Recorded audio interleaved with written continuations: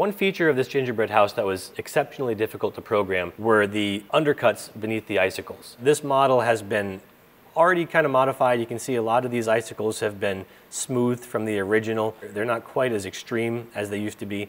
In fact, we've also kind of squared off the back sides of these icicles. Now, initially what our plan was, was to take a simple contour toolpath and run a slotting saw along the back of this icicle. And if we look down this view here, this slotting saw does a pretty good job. It's safe from this window. It gets most of the undercut, but there's going to be some area in here we still can't really reach. What we needed to do was find a different tool and find a way to approach this with a multi-axis toolpath.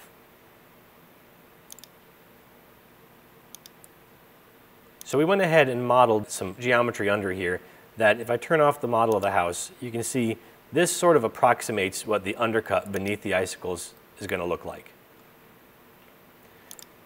So hiding this, we can see really something very simple to program. So let's just show you how we went about this.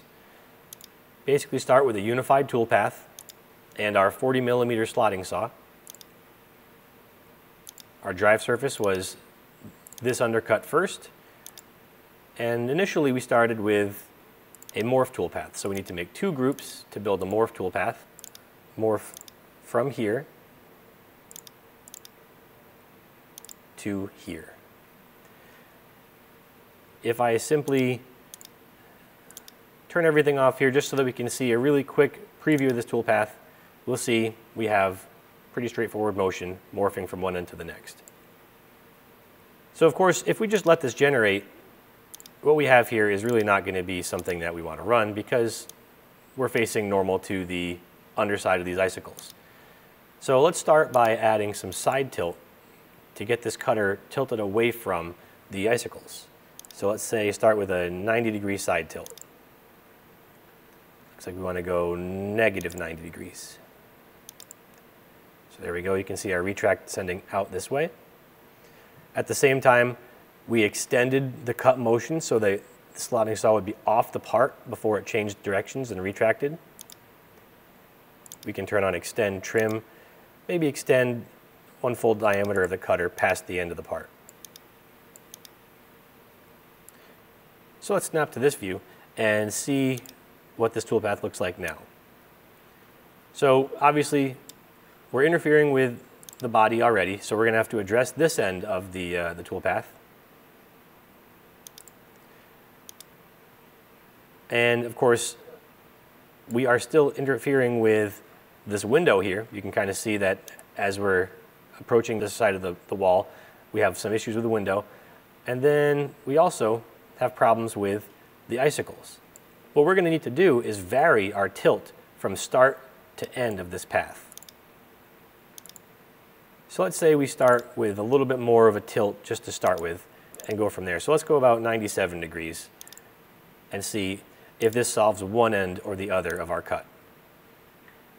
So basically, if we look at this cut now, we interfere more with the icicles than we did before. But at the beginning of the path, we actually, once we are out of this collision with the house, we are safe with respect to the tip of this window. So if we just add some sort of a margin to the start, we'll be able to start this toolpath without actually interfering with this window. And then what we can do is apply a gradual side tilt that creates enough tilt motion to tilt us away from the end of the icicles. So in this case, let's try a gradual side tilt change of plus 17 degrees. And now what's going to happen is we start, you know, we're, we're inside the part here, but we're gradually tilting away to the point where we're just about safe. And again, we're interfering with the icicle, so we're going to have to add a little bit of a margin here just to keep us from interfering. But this motion in general is a good start. So the next step is we have to try to avoid interfering with either end of this pocket. And there are a few ways to do that, but in this case, we can apply a margin to the beginning and end of this toolpath, meaning we can tell the toolpath to start away from the end of the surface. So in this case, something like a 0.9 margin, let's say 0.9 on both sides. This can be a metric just 0.9 millimeters of, of space away from the beginning of these surfaces. So you can see 0.9 here has got us just about perfect on this edge.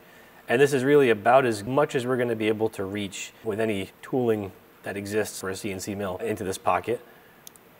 And as we approach the end of this, we have a toolpath that is also safe down here, finishes the backside of the icicles. Again, they are square, but this is something you're not going to notice from looking at the part.